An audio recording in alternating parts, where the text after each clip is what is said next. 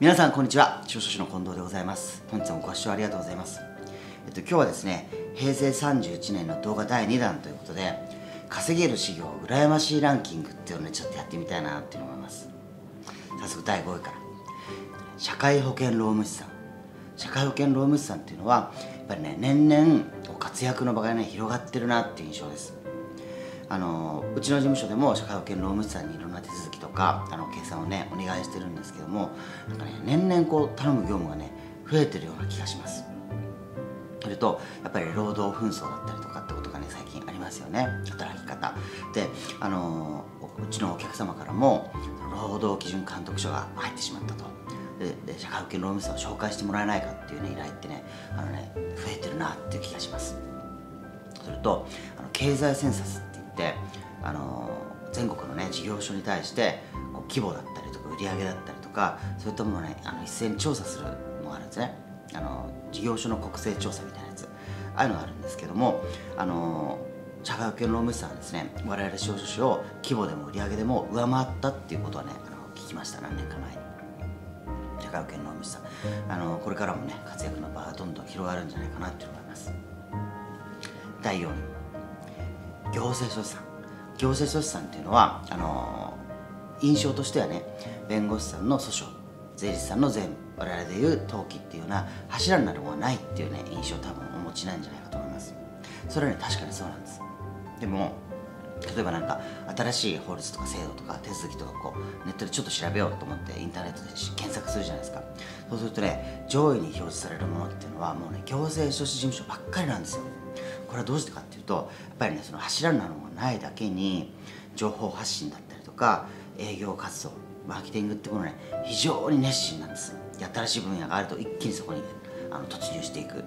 こういうね、あのエネルギーっていうのは行政書事務所ってあるなって思います。ですからあの結果としてですね非常に成功する事務所っていうのは時々あるんですよ。何年か前にあの視察に行った事務所はですね自動車のディーラー周り自動車周りの仕事に特化してるんですよ。で自動車のディーラーからあの毎日ねこう書類をお預かりしたりとかお渡ししたりとかっていうことがあるわけじゃないですか。それもこの依頼があったらじゃあ持ってきてくださいっていうことじゃなく自社でねもうバイク便のネットワークを作っちゃってるんですよ。ディーラーっていっぱいあるじゃないですか。ホンダトヨタ日産マツダスバル。そういったところのあの、ディーラーをですね回る、バイク便を自社で構築しちゃってる。で毎日書類をお預かりするお届けするってことをもうそのバイク便のネットワークでもやっちゃってるわけです、まあ、これやられちゃったら他の事務所って多分もう参入不可能ですよね。こういうね経営努力をされてる。すごいなっていうふうに思います。で多分そういうその車庫証明とかですかね。そんなに利益が出るわけじゃないと思います。ですからその事務所内のあの作業とかもね非常に効率化を図ってました。ベルトコンベヤー式にしてもうコストさギリギリまで削減するっていうあの経営努力をされてました。ですから、あの自分はね経営努力ができる。あるいはニッチなところにこう深く入っていく専門性を高める自信があるっていう方はですね業者としてさんいいんじゃないかと思います。第3位土地価格調査士さん土地価格調査士さんっていうのは、まあ、土地をね測ってこうくっつけたり切ったり建物の新築増築っていうものを測ったりっていう仕事をしますよね。ですから、どうしてもね外でやる作業っていうのがあるんですよ。ですからあの夏はねもう炎天下の中冬はもう冷たい風が吹きつける中で作業しなきゃいけないってことがあると思います。ですから当然のことながら若い人からは敬遠されるっていう傾向があると思います。ですからね。やっぱりライバルねかなり高齢化してるのと受験者数も減ってます。ですからこれね逆に言うとチャンスじゃないですか。調査者さんになってハウスメーカーさんとか不動産業者さんとかにもうフットワークよく営業する。外での作業も気にならないって方はですね土地価格調査さんいいんじゃないかと思いますよ。あともう一つねその AI で自動化されちゃうっていうのは今もうあちこちで、あのー、聞かれてると思うんですけども土地価格調査士さんはやっぱり測量っていう作業が入るので、あのー、簡単にね自動化できないっていう部分がね大きいんじゃないかと思います。他の業務に比べて。土地価格調査士さんおすすめしたいなと思います。第2位これ税理士さん。税理士さんはねあの、各事業みんな羨ましいって思ってるのは顧問料収入ってものがね毎月あの月額で入ってくるっていうところです。ですから長くやっていけば安定するし毎月の売り上げっていうのはほぼ毎あの見込めるってこれはやっぱりねその経営っていう観点からするとすごく羨ましいんですよ。その点やっぱりね我々司法書士なんかは毎月毎月ゼロからのスタートです。